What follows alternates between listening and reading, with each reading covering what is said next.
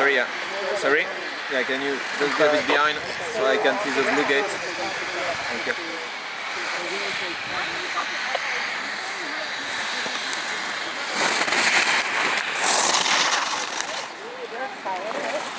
That's